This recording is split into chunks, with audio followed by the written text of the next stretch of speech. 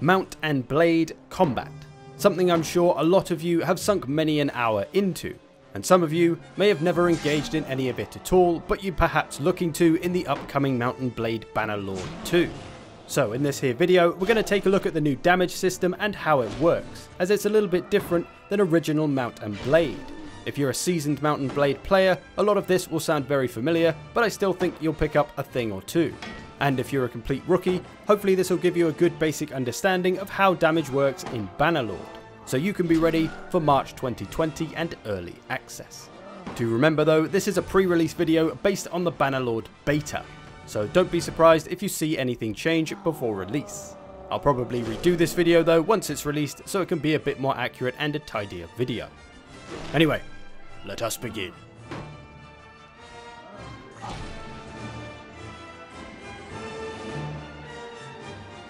So TaleWorlds wanted to create a simple physics-based damage system that has very little in the way of hidden variables. So we as players can know exactly how and why we're doing X amount of damage to the enemy.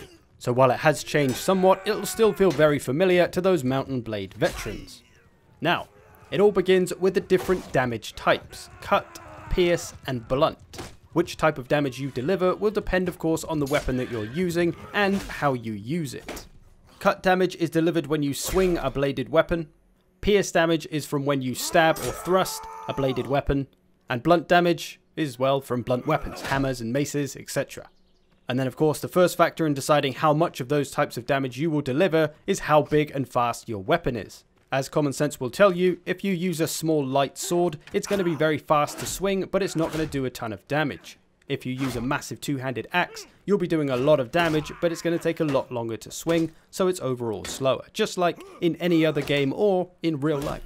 Now, that's all good, knowing your weapon and your damage type, but how is it going to change when you come into contact with different enemies? Well, this is where armor comes into play. If we swing our sword here at this unarmored peasant, the bottom left hand corner info will tell us what just happened, so keep an eye on that as we go if you care to.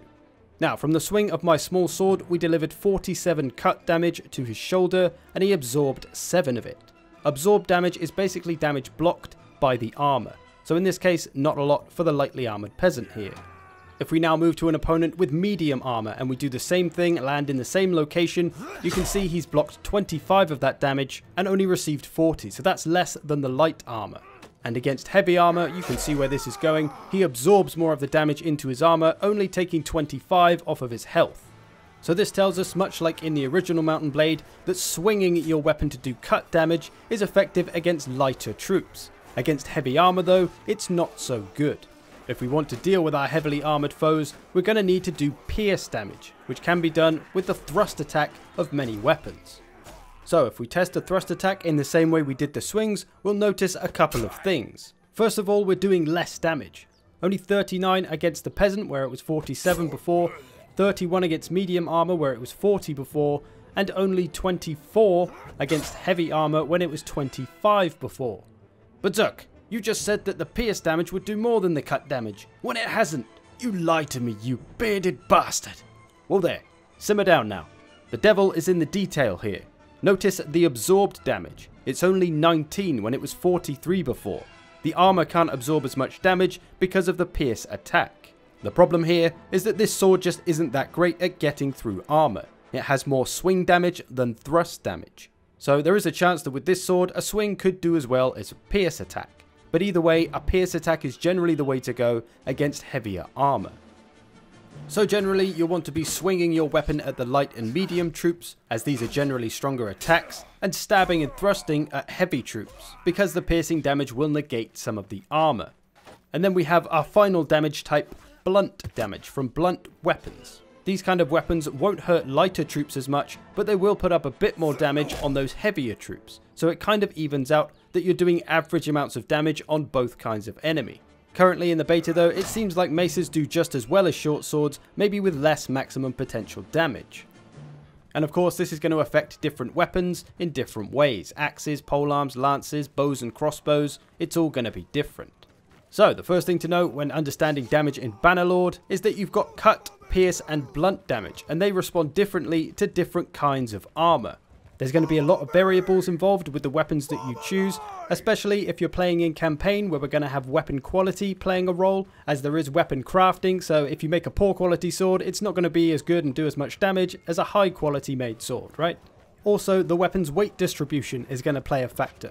Is the sword heavy at the hilt? Does it have a heavy blade? Is it balanced? All this is going to factor in when it comes to making and designing your own weapons in the campaign. However, that is partially speculative because I'm going off what the dev blogs have said, I haven't obviously played it, so we'll see when it comes out. For now, in the multiplayer beta, there are certainly better swords given to better units. They do more damage, they have more thrust damage than swing damage, some of them, so there's a mix of different kinds of swords, and axes and spears and maces, all the different kinds of weapons that we're going to have to learn how to use against different kinds of armors and enemies. The next modifier coming into play is relative speed. That is, your movement speed in relation to your target's movement speed, or how fast you're moving towards and away from each other. Basic physics, of course. So, if we stand still in front of somebody and hit them in the shoulder with an axe, you can see I do 98 damage. Now, if we do exactly the same thing, same weapon, same location, but we move towards the target, we're going to multiply the damage because of the extra weight and energy of the hit from the movement. So basically, if you move towards the direction of your swing, you will do more damage. As you can see, I've done 113 damage, and we now have a relative movement speed stat, 3.46 ms, which I assume is meters per second. Now, if we're moving away from the direction of our strike, it's actually going to cause less damage because we're taking some of the energy out of the impact. So what does this all mean? Well, quite simply, you just want to move in the direction of your strike. If you're stabbing, move forward along with the strike. If you're swinging to the right, move to the right. If you're swinging to the left, move to the left. You'll potentially generate more damage. It also, of course, depends whether your enemy is moving towards you or away from you as well.